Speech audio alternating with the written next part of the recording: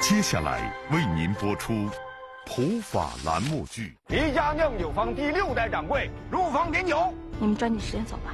哎，房子掉进水里了，是爸爸自己淹死的。义父去救了，没救上来，知道吗？原来，我想搬出去住。他住我的房子不给钱，太勾引了。妈妈，我饿了。让你妈给我一点钱。你一点旧情都不念了吗？我的心已经全部给了玉兰。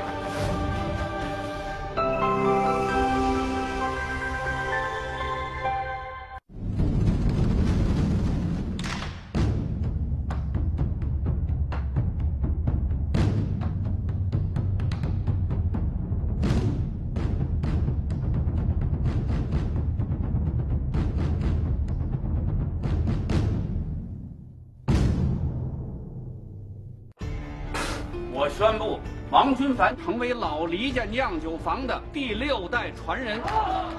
王俊凡，你不走正路，走邪路，就不怕遭报应吗？我要让你们彻底闭嘴！这是什么？见机行事，让叶运来给我变成哑巴。你要再不收手，小心丢命。这个叶运来确实有点碍眼，如果想办法把他给踢出去，这事就好办了。等我伤好了咱们两个一起离开酒坊。聂云来，在这指天发誓，绝不再挑小桃红第二的招牌。小桃，没那么容易，带人去追。这是我们师兄弟俩之间的事儿。放我干什么？把孩子带走！到底要干什么？我要怎么做才能答应放我们一家人走？你要非得走，你得把你这双手。留在酿酒坊。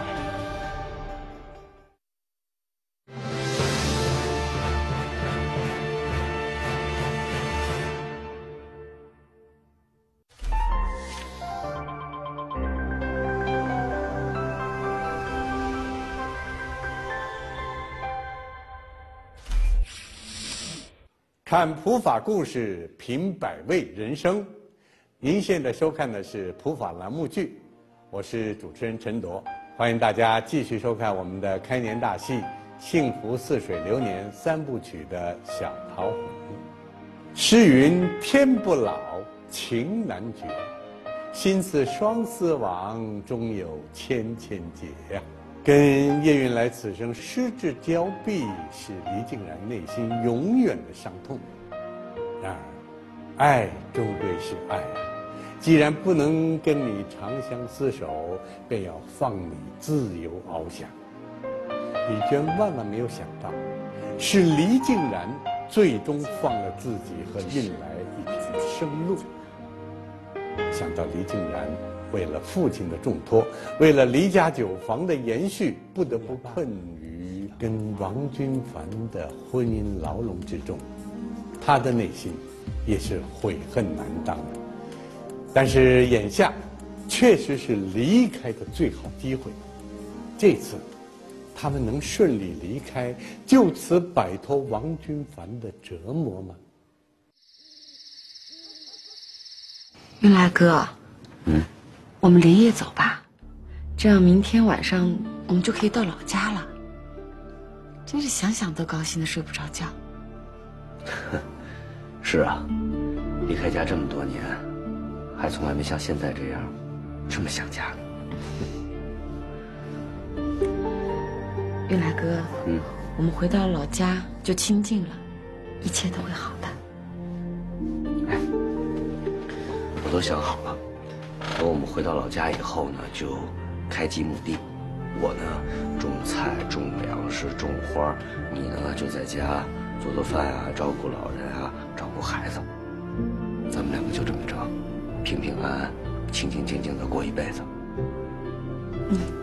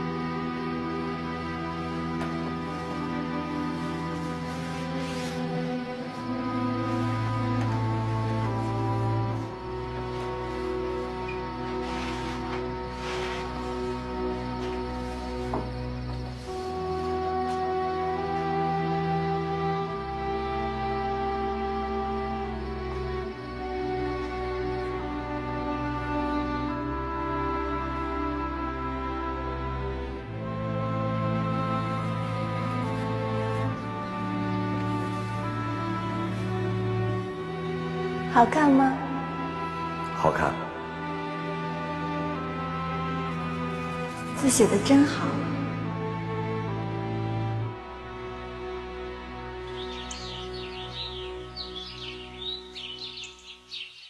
时辰已到，准备点酒。酒坊人民心向党，红亮阳光照酒缸，五业发达六虚旺，农工兄弟喜洋洋。李家酿酒坊第六代掌柜王俊凡，带领酒坊弟兄们入房点酒，一举成功，好酒出窖。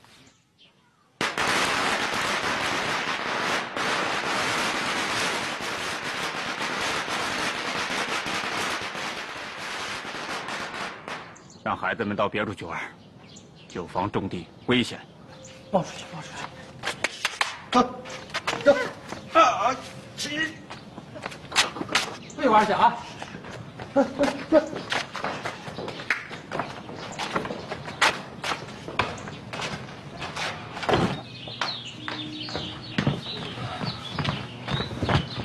入房点酒了，你们都收拾完了吗？收拾好了，那抓紧时间走吧。哎，小晴，小晴，小晴，哎，小晴人呢？刚才还在这儿呢，我跟他说别乱跑啊。行了，快别说了，赶紧找找去吧。糟糕，他不会跑酒坊门口玩去了吧？这样，娟子你去后院，运来你去村头，我去酒坊门口看看。嗯，好。姐姐，你看这好多小鱼啊！对呀。哎，方慈，你看，有一只好大的鱼呀，在哪儿呢？来，在那边。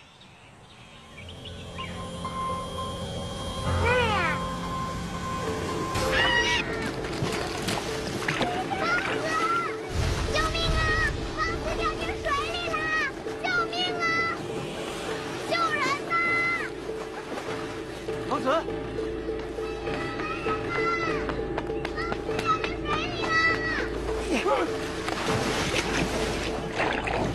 晴，你在哪儿呢？小晴，小晴，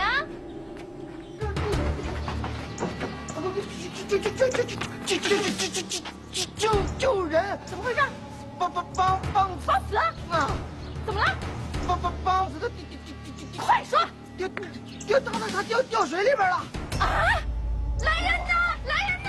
快快快快来人呐！快来人呐！走快点！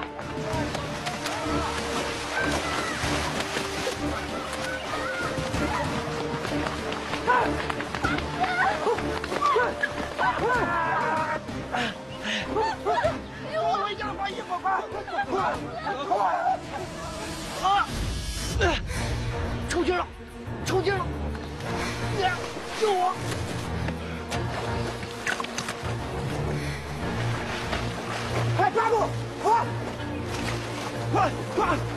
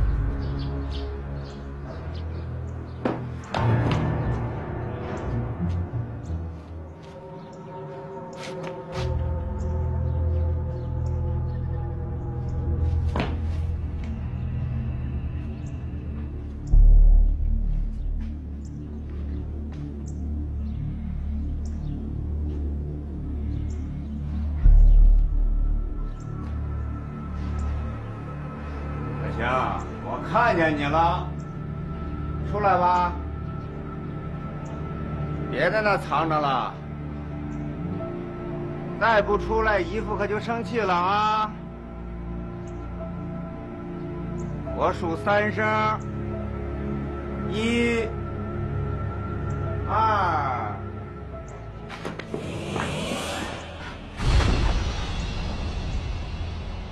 小强，刚才看到什么了？爸爸淹死了，怎么淹死的？姨父没有去救爸爸。不对，姨父去救了，没救上来，记住了吗？不是这样。是的。先听话，是爸爸自己淹死的，姨父去救了，没救上来，知道吗？如果你在外面敢胡说半个字，我就把你扔到这酒缸里去。胡说知道吗？我不胡说。记住了吗？记住。不准胡说，知道吗？知道吗？知道。张姐，姐，张子姐，张子姐，张子姐，快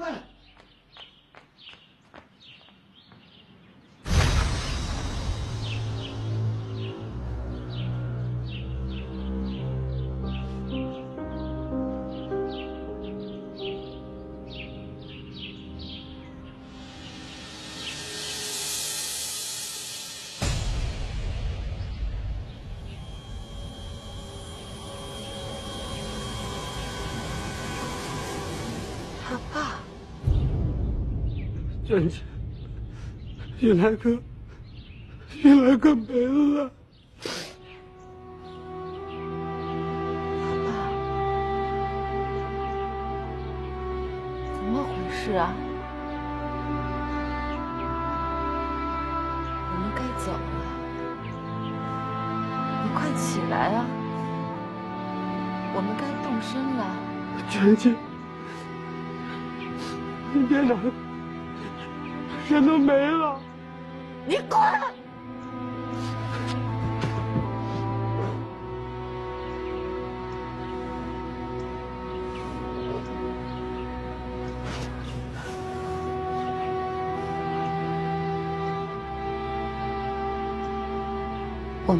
着孩子回岳刘庄老家去。我们不是说好了，我要开几亩地，种菜，种花，我要做饭，带孩子，照顾老家，要离开酿酒坊，回去过清静的日子。娟子姐，你就别再说了。不，我要说。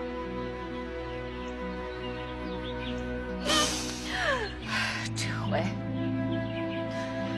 你们谁也别想拦我们。谁要拦我们，我就跟他拼命。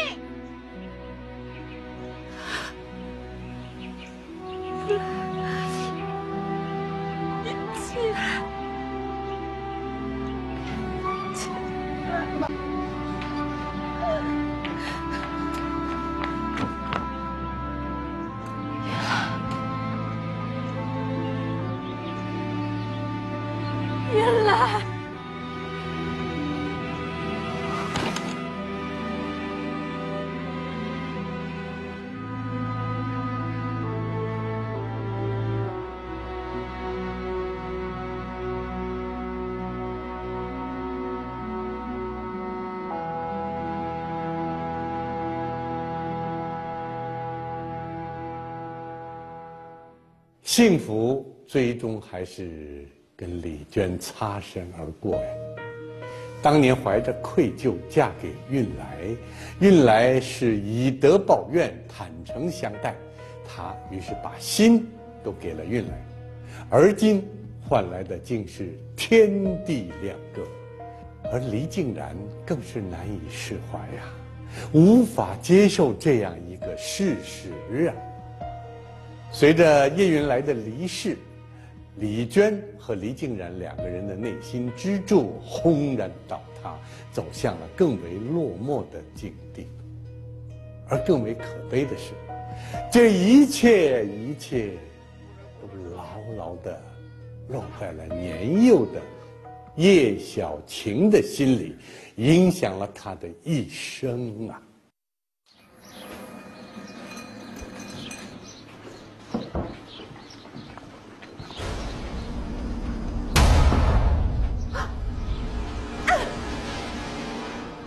你要干嘛？你是我姐夫，你不要胡来！现在已经没有人碍事了，你还怕什么？我要中孝在身。什么中孝不中孝？师傅和玉兰的在天之灵在天上瞧着呢。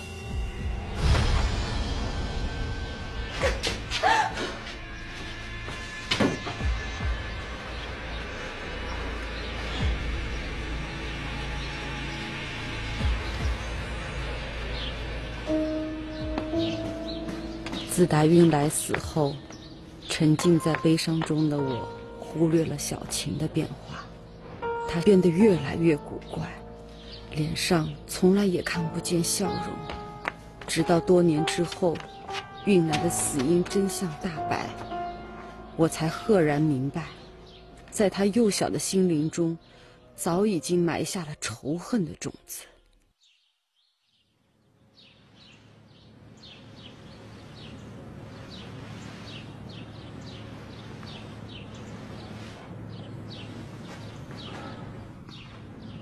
姐夫，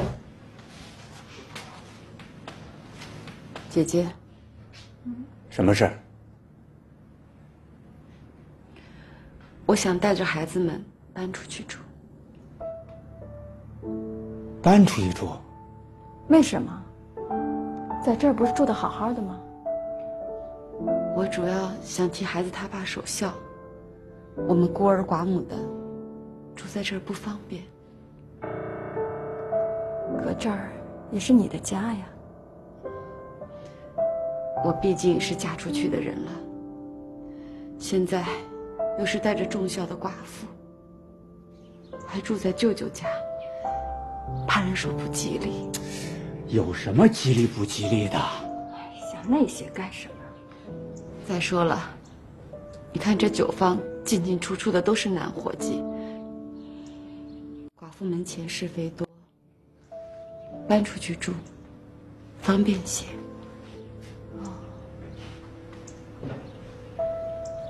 是，既然你提出来了，想必也是想好了的。嗯，想了很长时间了。那你打算回叶刘庄吗？不回去，老家的人我都不熟悉。再说了。这样回去，怕不合适。那你打算怎么办？搬去哪儿住？就在村西头，离家不远，回来也很方便。行吧，那就这样吧。姐，你放心，我每天都会按时按点回来帮厨。厨房的事情，你不用担心。也好，毕竟这儿也是你的家，住得近些，方便照应。再说了，我也舍不得方慈，我每天都会回来照顾他的起居。好吧。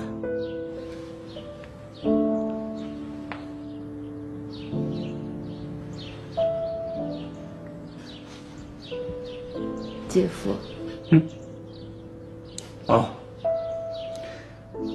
话都说到这份上了，那就这么着吧。我替运来，谢谢你。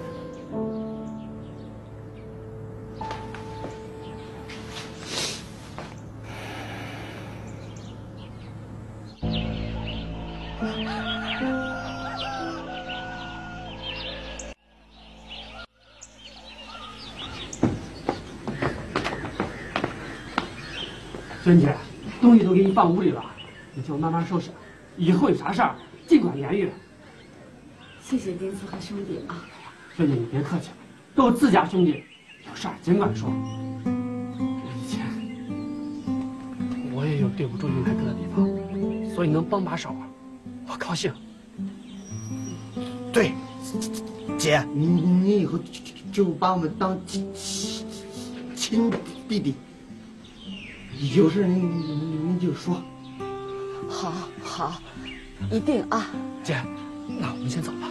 哎，那你别送，你别送。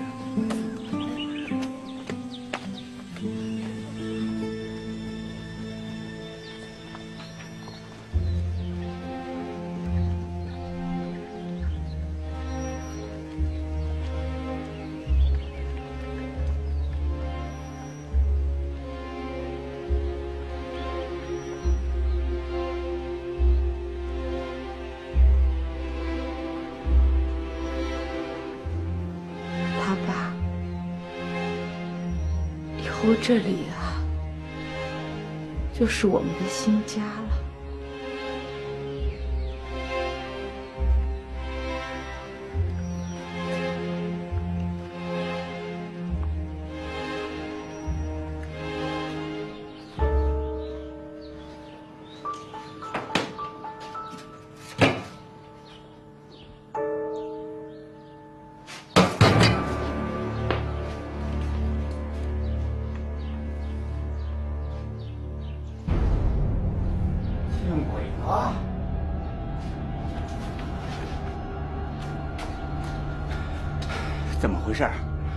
房间里你的东西怎么不见了？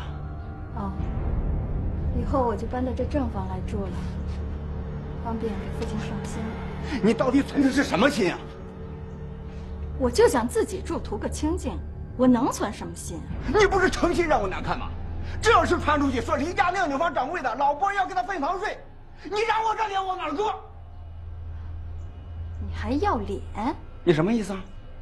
你要是要脸，你就不会昧着良心去干那些伤天害理、欺男霸女的事儿，还好意思跟我说你要脸面？我不管，你搬不搬？我不搬，搬不搬？我就不搬！我现在就让你搬回去！你干什么？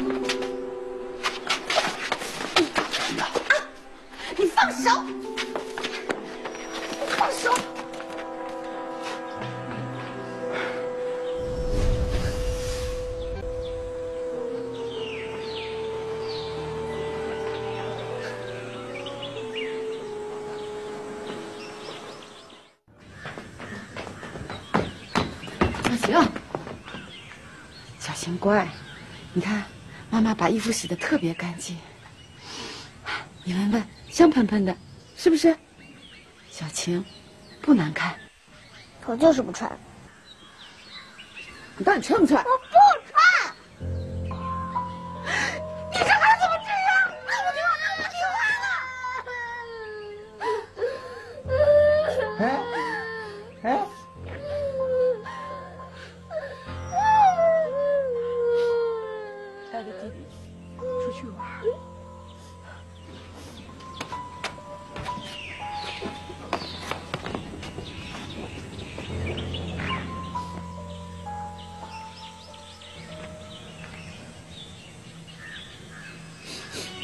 这一大早上的，哭啥呢？嗯？哎呀，我是无事不登三宝殿，你也知道我来是什么意思？嗯，这房子拖了太久了。刘大哥，你就再宽限几天吧，好不好？我就说你，你也就死心眼，守着李家酒坊那么大的家业，你去找你姐商量商量去。这话怎么能这么说呢？哎呀，俗话说嘛，这个瘦死的那个骆驼啊，比马大啊。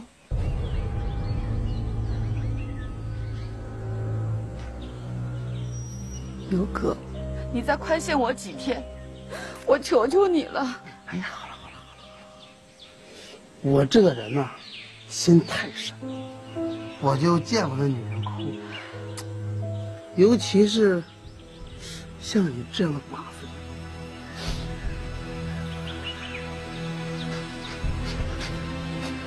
你这是干什么呀？你干什么？我教你怎么叫辅助。哎，你你给我回来！回来！听说那边那个酒坊最近很忙。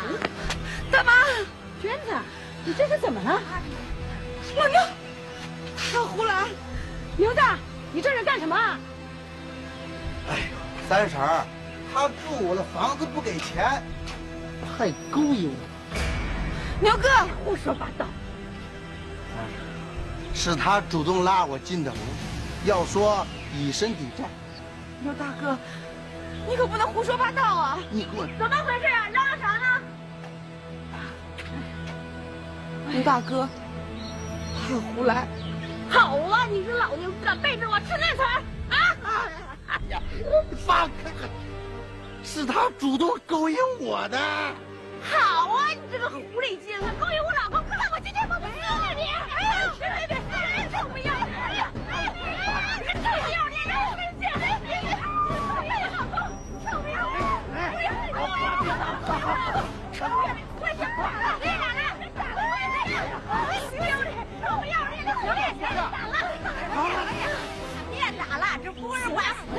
怜呀！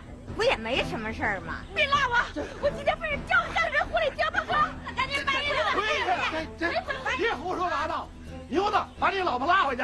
走，回家去！等着我怎么收拾你！你个狐狸精，你给我等着！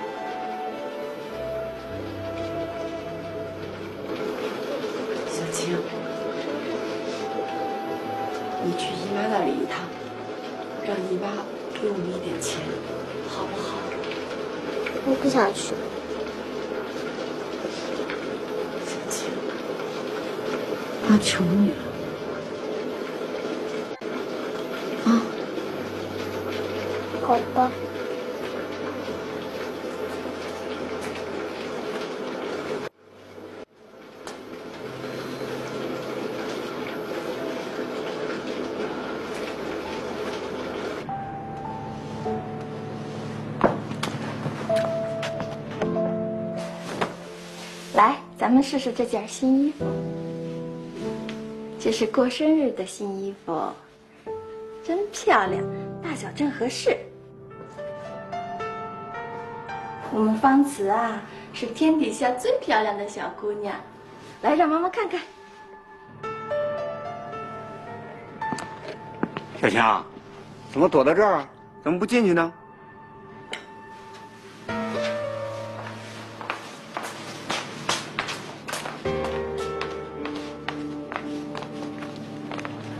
小青乖，快拿去吃吧。拿着吧。来，拿着来。这孩子是怎么了？这是？嗯？这是怎么了？这是？肯定是娟子的日子过不下去了。要说他真是死心眼儿，这在这儿过得好好的，非要逞强自己搬出去。出去还能清静点住这儿，阿猫阿狗的天天骚扰，他能清静？你，你说谁呢？说谁，谁自己知道。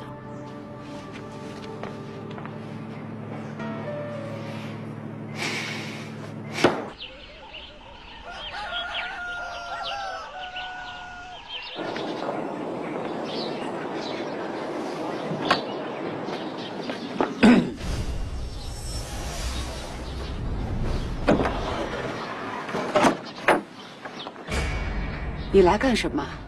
我不放心，来看看你。我挺好的，没事，你回吧。真的？啊。叶运来已经死了，你还怕什么？要跟以前一样，你也不至于过这么烂的日子。姐夫，我叫你一声姐夫，你就看在死去的舅舅和运来的份上，你放过我吧。真的？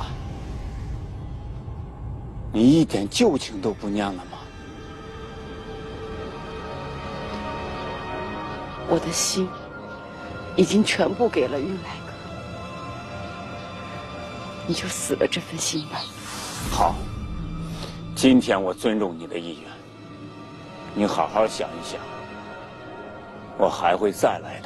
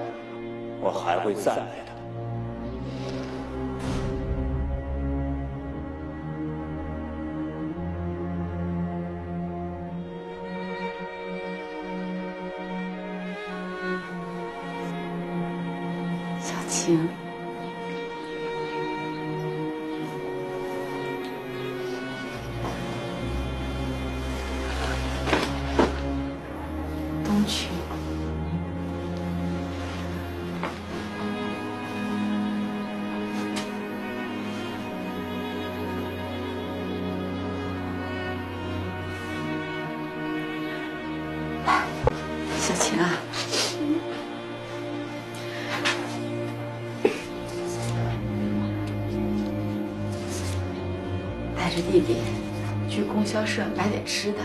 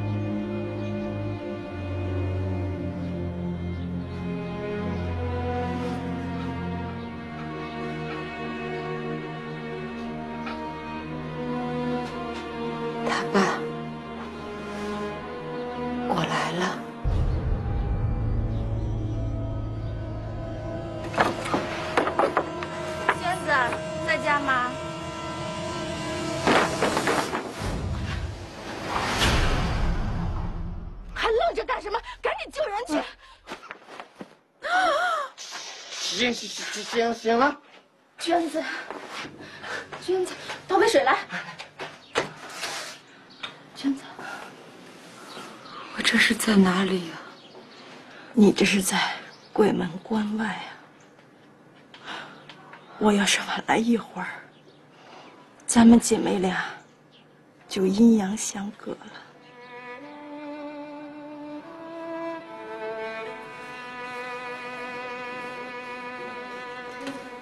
姐，怎么是你啊？我不值得你救啊！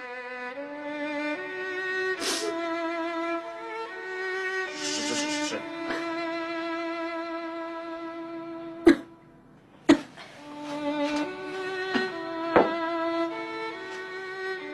是我拆散了你和运来哥。我是个丧门星，我克死了运来哥，我还被人戳着脊梁骨，我不想活了。孩子们跟着我，受苦受罪，饥一顿饱一顿的。我呀，想去找玉来说说苦，想去找舅舅说说难。姐，我知道你记恨我，今生难解的扣，你还不如让我去死了呢。别说了。我的心都让你给说疼了，刚结的疤又裂开，我是恨过你，恨得牙根直痒。可咱们毕竟是姑舅亲，砸断了骨头连着筋啊，我怎么可能见死不救呢？你说你傻不傻？糊不糊涂？你死了倒是一了百了，可孩子们怎么办？东群才多大？你撇下运来的骨肉，九泉之下，你怎么向叶家交代？对了，快去把孩子找回来！哎。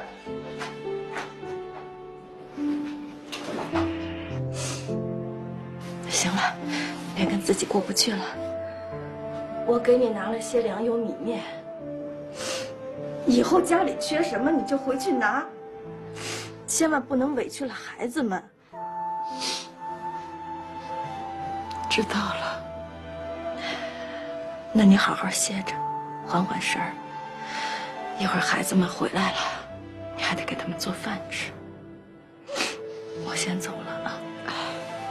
哎别起了，别送了，你好好歇着，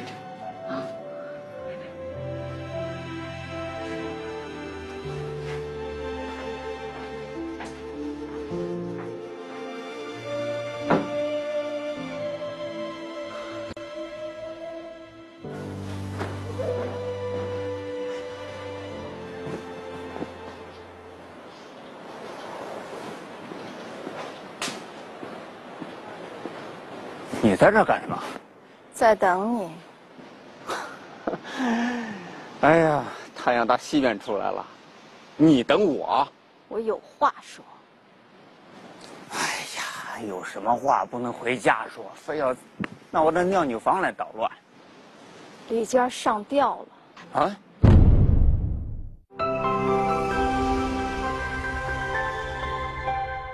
这里我们先来梳理一下关于这一集故事的法律点。王君凡多次骚扰李娟，企图对她不轨，这样的行为在当时将构成流氓罪。按照一九七九年的刑法第一百六十条，聚众斗殴、寻衅滋事、侮辱妇女或者进行其他流氓活动，破坏公共秩序，情节恶劣的，处七年以下有期徒刑、拘役或者管制。当时该罪属于刑法重点打击范围，一旦被发现，可能获刑。房东牛子骚扰李娟的行为也属于这个范畴。一九九七年，流氓罪被删除出修订后的刑法。如果这种行为发生在当下，则属于性骚扰的行为，造成严重的后果，将会构成犯罪。另外，房东牛子骚扰李娟不成，当着街坊的面说李娟勾引自己，要以身抵债，房东妻子还当街辱骂李娟，这种行为都侵犯了李娟的名誉权。流传百年的美酒小桃红，它的酒引子。竟然是女人生孩子时流下的眼泪。为什么？因为那眼泪里饱含着幸福，因为那眼泪脱胎于疼痛，化成美酒，才清甜醇香啊！这正如我们的生活，我们不遗余力的去追求自己认为的幸福，有的人不择手段，比如王君凡。有的人呢逆来顺受，比如李娟；有的人呢执念不改，比如林静然。每个人都在追求幸福的道路上饱尝了疼痛，能否脱胎换骨，还有待时日来丈量。名利权势尽收囊中。可这没有填满王君凡内心的欲望。叶云来的离世，李娟的轻生，生命的代价能否唤醒他的良知呢？没有叶云来的离家大院，似乎也失去了唯一的温情。剩下的是丧夫之痛，是爱尽之伤。更为可惜的是，这种伤痛延及到了下一代，对叶小晴的命运也造成了难以磨灭的影响。家和难求啊，心伤难补啊，离家大院的故事将如何落幕呢？请各位继续收看。我们幸福似水流年三部曲的小桃红第八集。你不要把活人往死路上逼。我以后绝对不会再侵犯你。我知道你呀，一直就惦记着养一只小猫。小虎，为了一只猫把孩子给哄出来。动物比人干净。精神分裂症。你以后不许跟他玩。那只猫呢？它哪去了？是我干的。着火了！着火了！他会把我女儿害死的。他是个不懂事的孩子。